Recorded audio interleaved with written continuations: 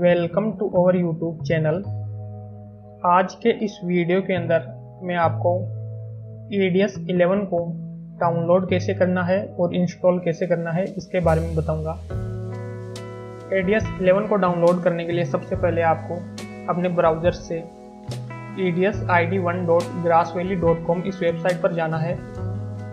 यहाँ जाने के बाद आपको ई आई डी रजिस्ट्रेशन पर क्लिक करना है। इसके बाद यहाँ पर आपको अपनी ईमेल एड्रेस फिल करनी है। और इसके बाद यहाँ से सिलेक्ट करना है I have read the privacy policy और यहाँ से आपको सेंड पर क्लिक करना है। जैसे ही आप यहाँ से सेंड पर क्लिक करोगे, आपने जो भी ईमेल आईडी रजिस्टर्ड की थी, उस पर एक मेल आएगी। वहाँ से उसे कन्फर्म करना है आपकी ईमेल पर। कुछ इस तरह से ईमेल आएगी। यहाँ से आपको इस लिंक पर क्लिक करना है और यहाँ से आपको रजिस्ट्रेशन चेंज करना है। इस लिंक से रजिस्ट्रेशन कंप्लीट करने के बाद आपकी मेल पर एक और मेल आएगी। इसके बाद यहाँ से आपको क्लिक करके लॉगिन करना है। और जो भी मेल आईडी आपने रजिस्टर करते टाइम डाली थी, वो यहाँ पर मेल आईडी आपको डाल लेनी है। और उस मेल आईडी का पासवर्ड एंटर कर लेना। है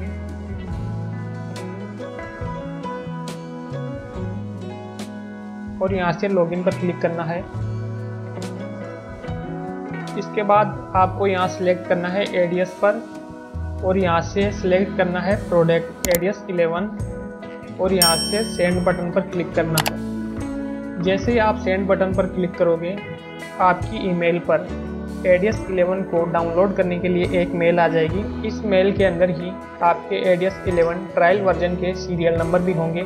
इसके बाद आपको यहाँ से डाउनलोड के नीचे जो लिंक है डाउनलोड करने की, उस पर क्लिक करना है। और यहाँ से नीचे स्क्रॉल करना है।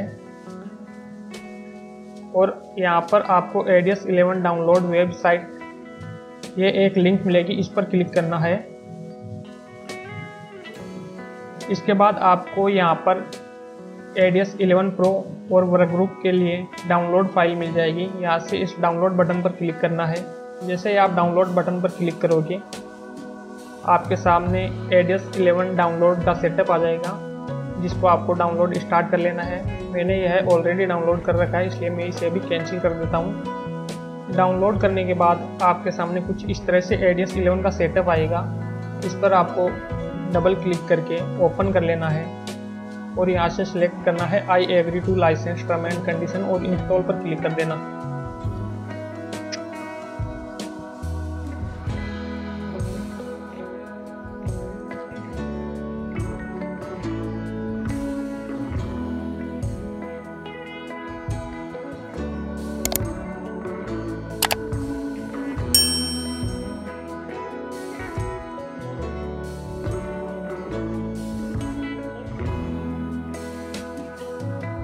यहाँ से आपको नेक्स्ट सेलेक्ट करना है। फिर नेक्स्ट सेलेक्ट करना है और लास्ट में वापस नेक्स्ट सेलेक्ट करने के बाद इंस्टॉल पर क्लिक करना है।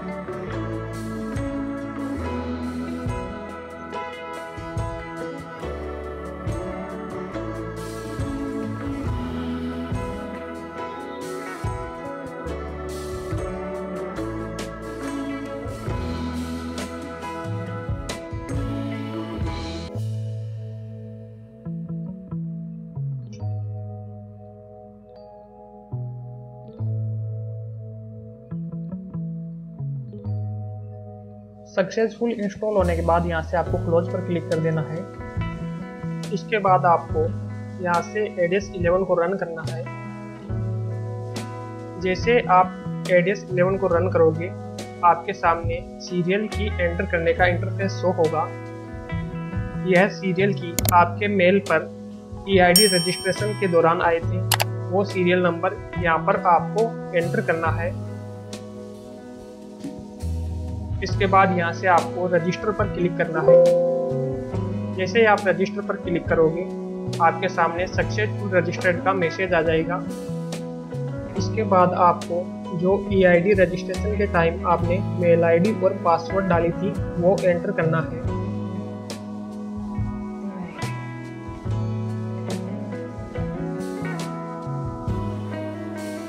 इसके बाद यहाँ से आपको सिलेक्ट करना है न्यू प्रोजेक्ट अब आप इसके अंदर देख सकते हैं कि सोशल मीडिया के प्रीसेट नए वीडियो प्रीसेट ऑटोमेटिक ऐड कर दिए गए हैं। एच के लिए हो गया फोर के लिए हो गया। सबसे पहले आपको यहाँ पर प्रोजेक्ट का नाम डाल देना है।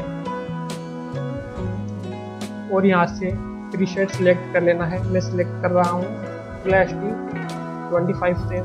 और यहाँ से ओके पर क्लिक कर देता हूँ। ओपन होने के बाद एडियस 11 का इंटरफेस कुछ इस तरह से आपको शो होगा। यहाँ पर मैं एक फुटेज डाल देता हूँ पहले।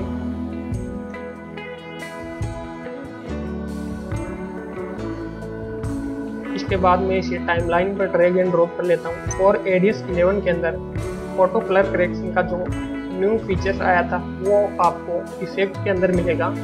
इफ़ेक्ट में जाने के बाद आपको सिलेक्ट करना है वीडियो फ़िल्टर और यहाँ से सिलेक्ट करना है प्रोडेट यहाँ पर पिक्चर एनहेंजर के नाम से वो इफ़ेक्ट मिलेगा। इसे ड्रैग एंड ड्रॉप करके आपको फुटेज पर डाल देना। यहाँ इंफॉर्मेशन पर क्लिक करके आप इसका बिफोर एंड आफ्टर देख सकते हैं कि ऑटोमेटिक पिक्चर एनहेंसर किस तरह से वर्क कर रहा है। इसके बाद यदि आपको इसके अंदर एडजस्टमेंट क्लिप लेनी है तो यहाँ से आपको माउस का राइट बटन क्लिक करना है और यहाँ से सिलेक्ट करना है न्यू क्लिप और यहाँ से आपको सिलेक्ट करना है एडजस्टमेंट क्लिप एडजस्टमेंट क्लिप को मैं ड्रैग करके दोनों क्लिप पर डाल देता हूँ। अब यहाँ से इफ़ेक्ट के अंदर जाता हूँ और कलर करेक्शन के अंदर जाकर यहाँ से इफ़ेक्ट सिलेक्ट कर लेता हूँ मैं। प्राइमरी कलर करेक्शन और लाकर इस एडजस्टमेंट क्लिप पर ड्रैग एंड ड्रॉप कर देता हूँ। और यहाँ से कुछ करेक्शन कर लेता हूँ। अब आप देख सकते हैं कि एक सिंगल क्लिप के अंदर एडजस्टमेंट क्लिप के द्वारा दोनों फुटेज के अंदर सेम तरह की कलर ग्रेडिंग हो गई है। एडजस्टमेंट क्लिप वीडियो एडिटिंग के लिए बहुत ही बेनिफिशियल है।